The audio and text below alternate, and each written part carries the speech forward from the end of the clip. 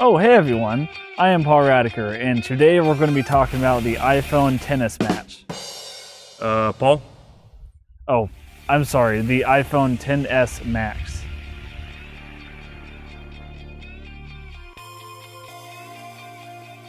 All cheesy naming aside, this is why I regret getting the bigger 10s Max over the smaller XS. Now, a little disclaimer before I begin. These are all just my opinions. I know a lot of people do love the XS Max, and honestly, it does have some pros and also cons. But I, I just want to say this is my own opinion. I know I do respect other people's opinions, and so if you do like your XS Max or you think that my opinion is stupid, that's okay. But these are my opinions, so just trying to get the word out there so that if anyone is trying to decide between the 10S Max or the 10S, hopefully these opinions will help you out a little bit. So I have been part of the iPhone upgrade program for a couple of years now. I started with the iPhone 7 Plus that I got back in 2016, I believe. I think it was 2016. But yeah, that's how I started with the iPhone upgrade program. And ever since then, I've been upgrading every year, since that is kind of a perk that you get with the program.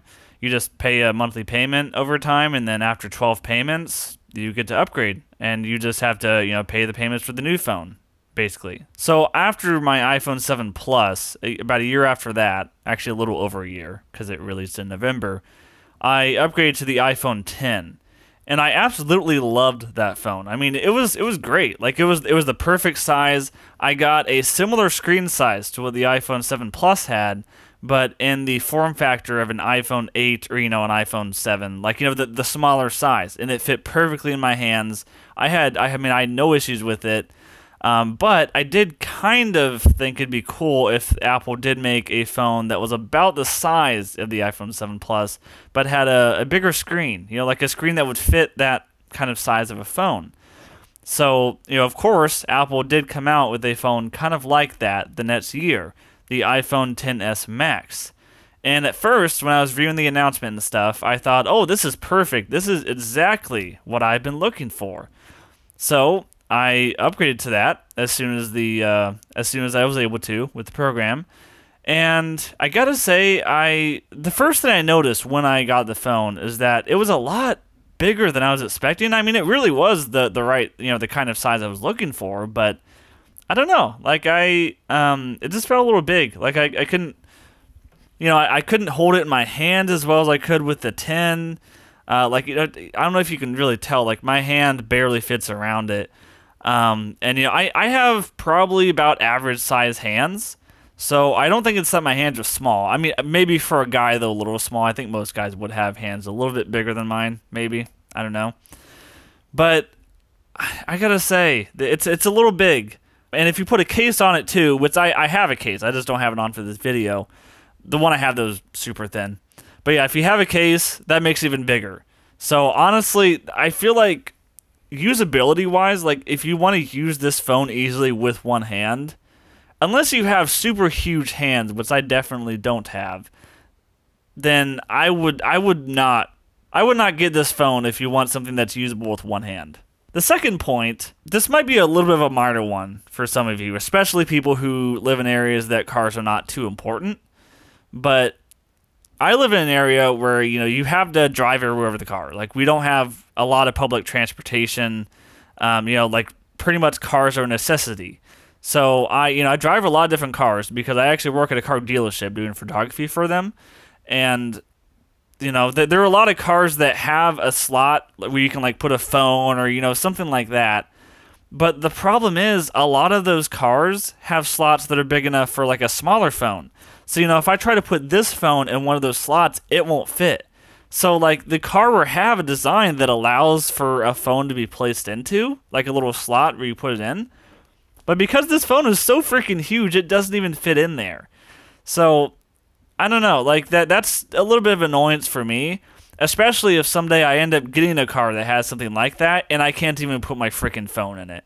Another thing, the battery life on my 10 was was fine. Like I had no issues with it. I mean, I will admit that I did think it was really cool that the 10s Max had a better battery life, But honestly, I've never needed to charge my 10 much throughout the day. And actually, if I did, I have a wireless charger on my desk just behind me, actually.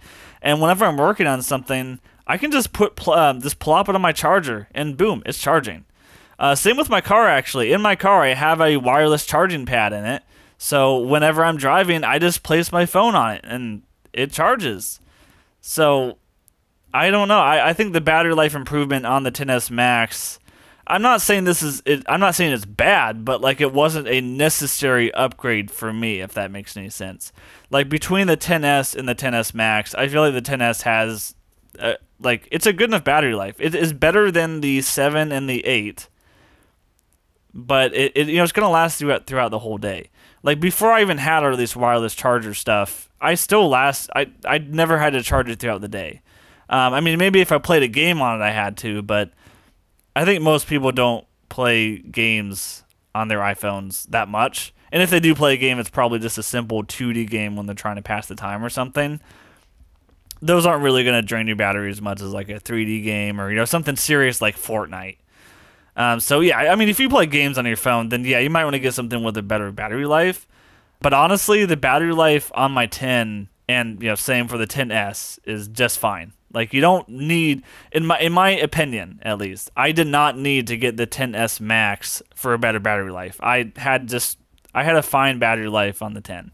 Now, another thing, I know this probably kind of goes with the usability arguments I made earlier, but just trying to type on this thing even with two hands, I just find it a little unusable sometimes. I did notice that with my iPhone 10, my hands felt a little bit cramped when I was trying to like type on that tiny little screen. But I, I just found that it was easier because I didn't have to move my thumbs as much. Like I was quicker at typing things. Um, you know, I, I didn't like when when you have a bigger screen like that. There's more movement with your thumbs, and I just found that I could type quicker on my 10. And I don't I'm not sure why this is, but even more accurately too. It's a little odd considering that you know there are you know the letters are more uh, close together, and somehow I actually was more accurate. Maybe it's just because my thumbs don't have to move as much, and I don't know. Some somehow, all I know is that somehow I, I had a more accurate typing experience on the iPhone 10. And you know, I've had this phone for a few months now. You know, I got it in uh, late September when it released, and I don't know. I've just I've had a worse typing experience on it. So it's never gotten more accurate as the the more I use it. And yeah, so I mean, if you type a lot on your phone, which you probably do, I mean, your phone is you you know a lot of people use it for texting and browsing the web, stuff like that. So if you type a lot on your iPhone, I you know this is just me. I know a lot of people do find it easier to type on the bigger screen, but I would just consider trying them in a store try typing on the phone and seeing which one you think you'd be more comfortable with. I didn't do that, which was a mistake. I should have, you know, I, I pre ordered the phone, of course, so I couldn't have tried typing on it ahead of time.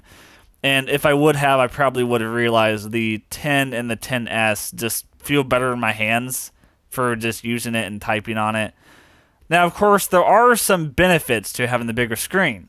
I'm not going to lie, there are some great benefits.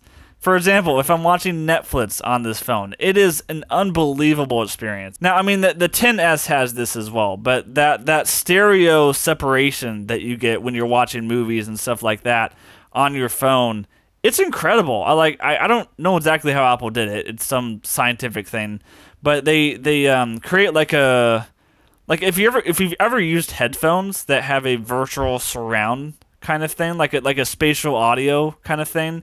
It's a lot like that, but it's it's not with headphones. It's like the the speakers on the phone kind of create that same effect. So it's it's a little bit like a surround kind of thing while you're watching movies and stuff like that. Especially on Netflix, I've noticed. Uh, you, you really notice that crisp and just like surrounding audio when you're you know near the phone looking in front of it. And um, you know, with the bigger screen, especially the bigger HDR screen, it, it helps. Now, I, I didn't own an iPhone 10s, which does have a slightly better screen than the 10, but I just I found that small screen a little hard to watch movies on at times. Honestly, though, if I could do it again, I would go back to the 10. I, I would get a 10s instead of a 10s Max, even if we're watching movies. Like I just feel like the things I do every day on it, like go you know browsing Facebook, browsing the web, typing messages on it, just all the stuff that I feel like is a little hindered with a bigger display. And it'd be really nice to be able to type with one hand again too. I, I don't think the the better you know TV watching experience is is uh, worth it to lose typing with one hand and just this the overall usability. There were just day to day things that I noticed that I found easier and just more enjoyable to do on my iPhone 10 compared to the bigger screen on the 10s Max. Now, I'm not saying I don't like the phone. I love it. I'm just saying that I feel like compared to the smaller 10s, I would have I, I think I would have gotten the 10s if I would have had the chance to try out the two phones first because you know I pre-ordered the phone. I just assumed, oh, this is gonna fit perfectly in my hand, and since I could do stuff with one hand on the Seven Plus, I'd be able to do it on here. The problem is, is that this phone there is a large area of screen below and above where the bezels would have been on the uh, Seven Plus. So you know, for unlocking the phone, for example. See, I have to swipe from the bottom, so doing that with one hand, I can do it if I like move my hand around a little bit but it's it's not very easy. See, I have to kind of move my thumb all the way to the bottom and do that. With um, you know, with the with the seven plus, I mean, I had to hit the home button too, which is a little close to the bottom. But overall, like things were just easier because I usually would not have to reach my thumb all the way to the bottom of the display. So, or you know, or you know, the the top, like way up here, because with the seven plus, the uh, you know the bottom of the screen was about right here, not like way up here.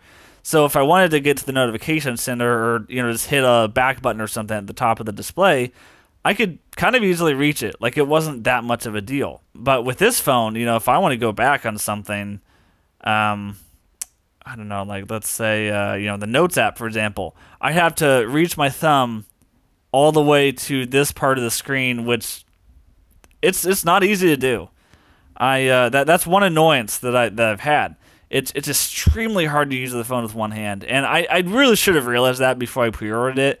It's too late to return it now, and you know if I were to sell it, I actually would still end up owing a lot of money on the lease that I have on it through the iPhone upgrade program. So it's just not worth it. Um, I'm just gonna have to wait another year, and then hopefully they'll you know still have a smaller um, phone at that point that's you know comparable to the bigger phone you know, th- these are my opinions. If you are trying to decide between the 10s and the 10s Max, or even the 10, because you can still buy that too, then I I would highly consider the smaller phone, uh, especially if you find usability with one hand as important to you as I do, because you know I, I use I use my iPhone 10 with one hand all the time, and so I don't know. I just I feel like it was a bad decision to go with a bigger phone that I, I really should have realized I would not be able to use the same way.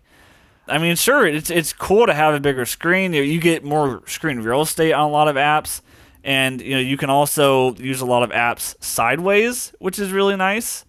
You can't really see that, but you know, like the Messages app, when you turn it sideways, you get a more tablet-like interface. Same with Safari. Like when you open Safari on the iPhone 10s Max, you you get you know a tab view at the top you know like a little um, like a tab a line of tabs you know kind of like you get on the ipad so you know you get like some cool interfaces when you turn it sideways just like you did with the iphone 7 plus and you're like the, the plus iphones one one problem with that this is what i really don't like with the plus phones you at least also had the home screen turned sideways whenever you turn the phone sideways with the iPhone 10s Max, you don't get that. So, yeah, you can turn apps sideways and stuff, which is real nice. But if you're on the home screen and you turn it sideways, it doesn't move. So it's almost like they don't want you to turn it sideways. And honestly, I just can't use it like a tablet like I did with my iPhone 7. I, I remember with my iPhone 7 Plus, I used to um, I when I had it in my car, I had a little you know I had that dash mount that I put on my you know on my um, on my dash in my car, and I would turn it sideways, and it's cool because I could still use it that way pretty well because even the home screen was sideways too. But with my iPhone 10s Max, I can't do that, or at least not without sacrificing some usability, because the home screen does not rotate with it. So, you know, I can use most of my apps, like, you know, my Maps app and all of that stuff in Landscape View. But as soon as I want to switch to a different app that's not, you know, in the recently open apps, I have to um, I have to navigate a home screen that's not in the correct orientation. You know, it's it's gonna it's not gonna look right, and it's gonna be harder to to read and um. So you know, it's it like I'm I'm kind of forced to just have my phone in portrait on my dash for like viewing GPS and stuff while I'm driving. I I just like it's okay, but I I'd rather pref- like I'd really prefer to have a landscape view while I'm driving. And because I go to the home screen so often when when I'm in my car, it just doesn't work because I I, I don't want to go to a home screen and then find out that it's it's not in the correct orientation. Like it would have been so much nicer if they could have found a way to have the home screen in landscape like like they did with the Plus phones. So I don't know. I I mean I like the bigger screen, but I also wish that I could have the usability back that I had with my iPhone 10. So guys, that's what I have for you today. If you like this video, make sure to give it a thumbs up. If you disliked it, you can do that too. And if you haven't subscribed to my channel already, please consider doing that. I also just hit 100 subs recently, so thank you everyone for that. I really appreciate it. This has been Paul Radaker, and I will see you in the next video.